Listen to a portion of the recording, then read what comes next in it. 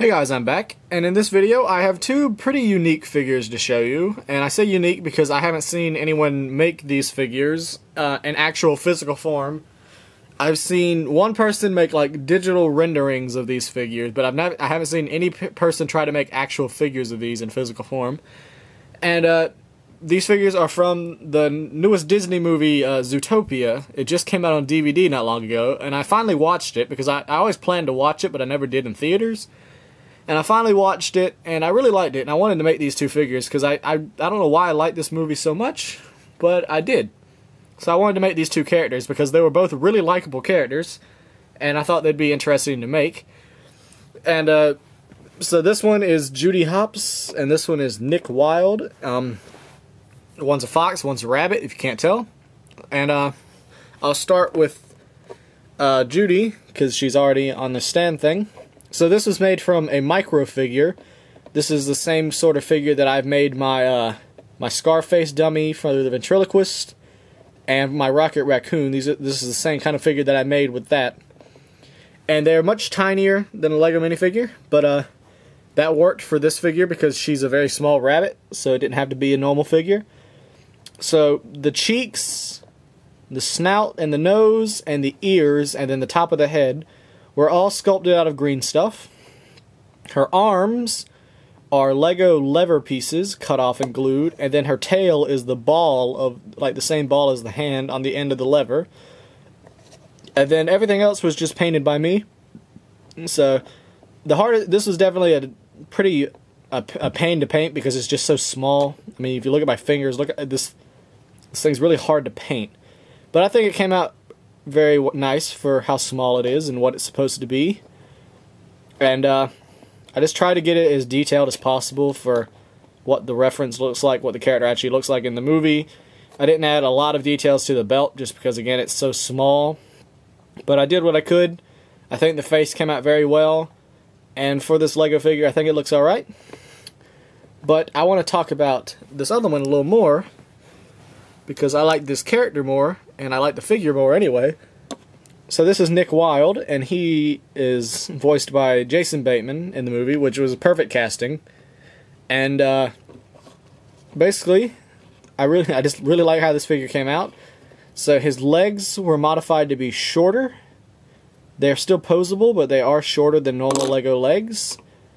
And uh, his torso was sanded down on the sides to be thin, so you can see it's normally Lego torsos are kind of angular like that, but this one goes straight down, which is to deal with paint rub and also because he is a very thin character in the movie as well. The arms were orange, and I painted the sleeves lime green, and then to change the orange color below to match the color that I painted the rest. The the collar of the shirt is attached to this and this is all one piece. If I take it off, you can see the shirt collar is attached, and you can see that's what it looks like underneath. I just dropped the head. Now the actual headpiece, this headpiece is made from a Rocket Raccoon minifigure, the official one. What I did was I modified the snout area here, I sculpted a nose onto it, I sculpted the ears, the fox ears on it, and uh, I cut off the little brown part that was around it. Well, it was actually the black one because I used one of the polybag Rocket Raccoons. And uh, basically cut that off and then covered the hole with the collar of the shirt, which worked out well. And then I painted his face to be like a smirking smirk with his eye eyebrows, eyelids lowered because that's how he looks for pretty much the majority of the film. And then his entire torso was a lime green torso, and then I repainted it in my own lime green color painted the tie, gave him a pocket on his shirt. The tail is also from the uh, same Rocket Raccoon minifigure, just cut it tail off separately and glued it to the back, painted it the right colors. And overall, I just really like how these two minifigures came out. Uh, I think they look great together. I like Nick a lot more than I like Judy, but I still like Judy a lot. Just, I think these two minifigures are very unique. Uh, I don't know if anyone else will make these. I haven't seen any. So I'm pretty happy at the moment that I have these, and I'm also very happy because Rich Moore, who is one of the directors of Zootopia, actually saw both of these figures on Twitter.